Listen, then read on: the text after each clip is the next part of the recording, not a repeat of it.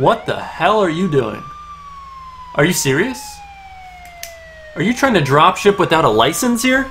You don't even know what type of store is the best to start depending on the situation you're currently in? Well, clearly, you're a noob, and you need to be educated because today, my friends, we are going to be answering the age old question What really is the best type of dropshipping store to start? We're going to cover the pros, the cons, and exactly what you need to know before making that decision of starting your first ever dropshipping store. What is poppin' everybody? My name is Ethan Dobbins if you're new around here. And if you are new, make sure to hit that subscribe button down below. It ain't gonna bite you, it ain't gonna hurt. In fact, it's gonna give you notifications for the latest and the greatest strategies of 2020 and beyond for your dropshipping store on how to make more sales, new apps that you need to know, and all types of dropshipping knowledge that can help you grow your brand. So today is going to be nothing short of that because we're going to be covering the three types of dropshipping stores, the pros, the cons, really everything you need to know before starting your first dropshipping store. As I said earlier, but the first type of store we're going to talk about today is the one product store. Now, a bunch of people have been talking about one product stores, even the top dogs like Scott Hilse. In fact, he built a whole course around that concept. Now, the thing I would have liked to find out is what happened after he made the 200 grand with his store because the one real problem with one product stores is that they're not built to last. It's not great for longevity because once that product gets saturated, you reach the market, you know, the cost per purchase keeps on increasing to a point where it doesn't make sense to sell that product anymore, you can't really do anything with the store. You have all these customers, you've built up all these followers, you spent all this money, but you can't do anything because there's nothing new to sell. So we're gonna break down all the types of stores, but we're gonna start with one product stores. Now the main benefits of starting a one product store is that it will look super branded. Like the Rev knee right here, this looks like they own the product. I mean this anti-gravity knee brace, it's done super well this year. Health products do really well. And as you can tell, they put so much time into this product description. It does look super branded. It does look very professional. And I can guarantee conversion rates on one product stores are always better than niche in general. But again, as I said, the one problem is once you make your money, once you get your sales, there's really nothing else you can do because you're not selling any other products. So I can bet what you, this person did is they made a ton of sales over the course of a few months and they cashed out. They deleted the page because it wasn't profitable anymore and they had to start all over. So they got all this money, but now they have to go back from scratch. So here's the thing, if you're actually looking for the fastest way to make money with dropshipping, it definitely is a one product store because you will get higher conversion rates, you will get higher product success rates. Typically, the average dropshipper has about a 10% success rate with products,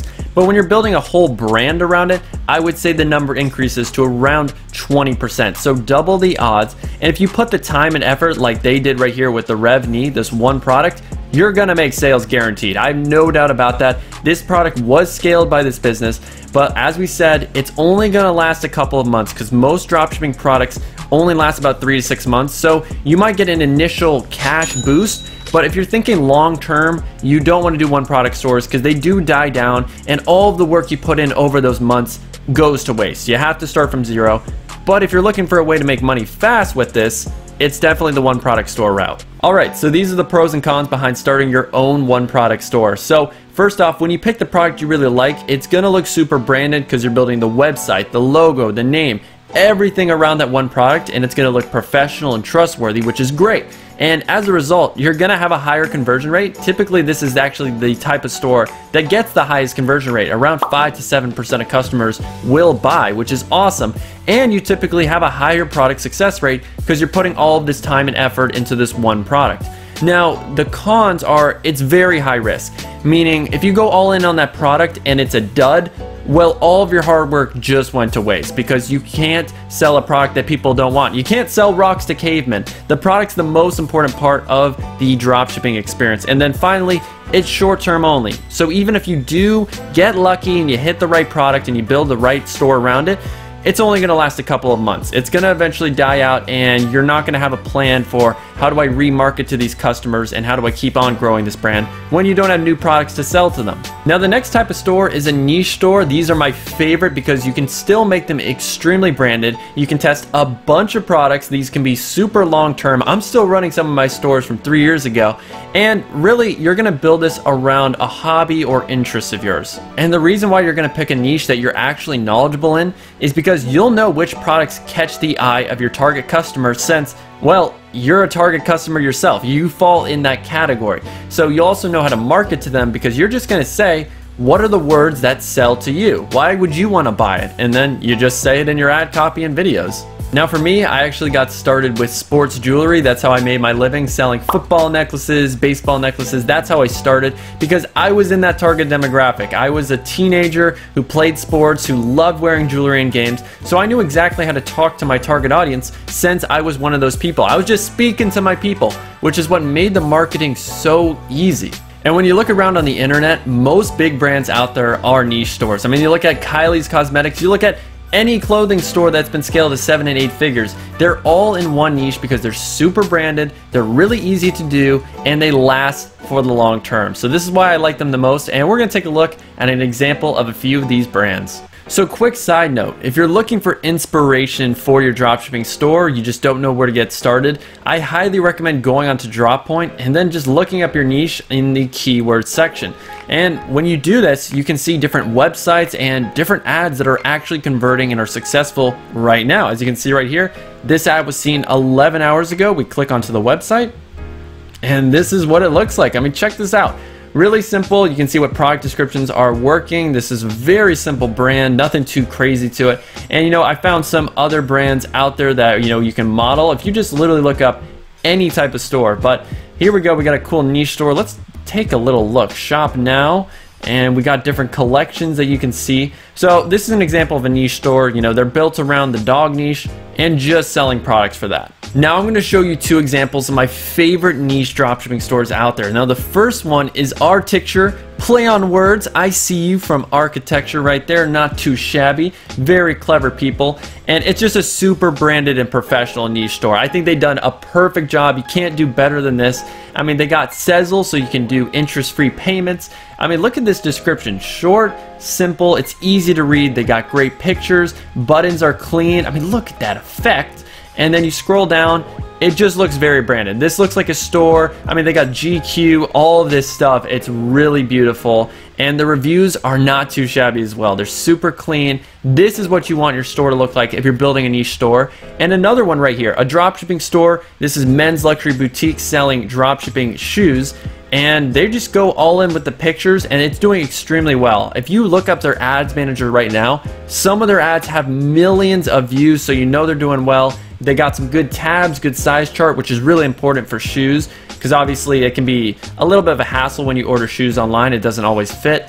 But I absolutely love this brand. They got a lot of cool designs. I mean, look at this Blaze sneaker. But you cannot go wrong by modeling the best people in your niche.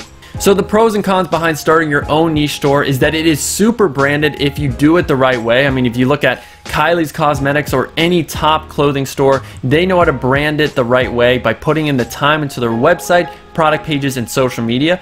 These typically have high conversion rates of around 2 to 5%, but you obviously have to have a good offer and a good product that people want. And the thing I like the most is it's flexible with product testing. You can't do that with a one product store. You're going all in with one product. But with a niche store, you typically have thousands of products in the niche that you're in to test, like with dogs. I mean, there's tens of thousands of products. And I like to keep my options flexible, just like my relationships, and it's a medium risk. So if you pick the wrong niche, that's really the only risk. So you don't want to be super specific, like selling products for underwater basket weaving, but you don't want to be too saturated because I think baby stuff is super saturated. There's so many players, so it can be really hard to differentiate yourself and actually make money with that niche but they are good long-term plays. These stores can last years, decades. You see it all the time. Manscaped, all of these big clothing stores last decades because it does work. Now, I think this final store gets a lot of hate for no reason because general stores allow you to test any product you want in any niche. So if the next fidget spinner trend does arise, you can hop on it and make money instantly compared to if I was a clothing store and I tried to sell fidget spinners, it wouldn't make any sense. So you can hop on any trend, you can sell any product you want, and that's why these stores also are very profitable. So if you're having trouble picking a niche, you just don't know what really piques your interest, you're like a teenager and you like absolutely nothing at all, then start a general store. There's no problem with doing that. They are insanely profitable because you can test so many different products. And really, some of the best dropshippers out there love general stores for product testing. And then once they find a product that's working well, on the general store, they build a one product store around that. That's a very insanely successful strategy that you can do because if a product's working on a general store, then it's going to work way better with a one product store where you're putting all your energy and focus on marketing that winning product. Now, this might be the most successful general store that I'm actually aware of because I know they do about 100 to 200 grand in revenue every single month. And I know that might sound crazy when you look at the branding. Like, it's a very generic logo, the banner is pretty blurry, but the products they test are products that people want and they know how to market and make ads that convert.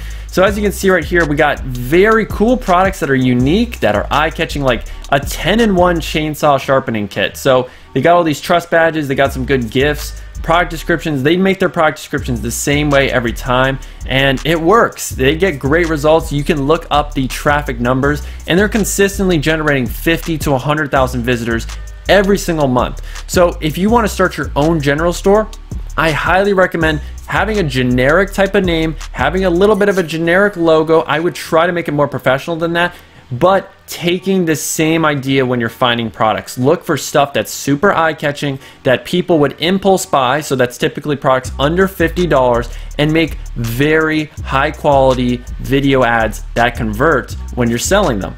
It's just a very organized operation. Every single product they test, they do the exact same way. They have a very cool name, they have the trust badges, and the way they format their product description is the same every single time. So they have a formula that works, and I would recommend no matter what type of store you start, having a formula that you do for every single aspect of your business because it saves time, it's more efficient, and you're gonna find winners much faster. Now the pros and cons behind starting your own general store. First off, it's not going to be super branded. It's very hard to come up with a name and logo that encapsulates all the different types of niches. I don't think it's really possible. People like to do, you know, something palace like product palace, prime palace. So they like to have the word palace, heaven, haven, or hub to describe it because those are very general terms. Uh, typically, these stores have the lowest conversion rate because they're not super branded. But the greatest part of it is you can test any product. So you can catch on to any trend that's happening. Fidget spinners, you can do that for your general store. But if you're in a men's clothing store or if you're only selling one product, you can't sell that fidget spinner. So you can capture any trend, you can sell any product, and it's very low risk because of that. You can test any product you want. And it's a very good long-term play because all year you're gonna see different products for the different types of seasons. So you can sell winter products during winter, you can sell, you know, summer products during summer any product you want. That's the greatest part of it. And if you find a product that's working well in your general store, you can build a one product store around it. So I highly recommend if you don't have a niche that really sticks out to you or a product you really like, start with the general store. It's very low risk and you can keep running these for years upon years.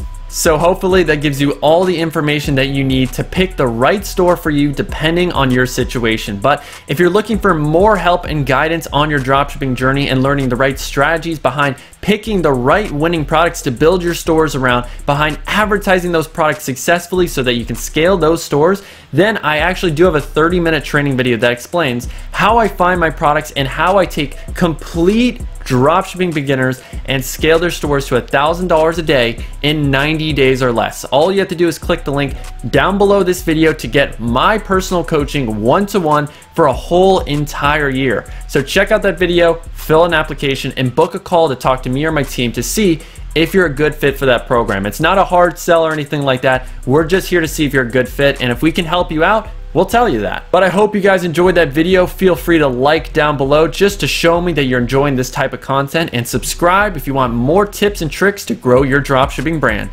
But, everybody, time has come. It has been a pleasure getting to entertain and educate you at the same time. But you have to remember, only one thing solo mente. Stay humble. And always do some frickin' numbers.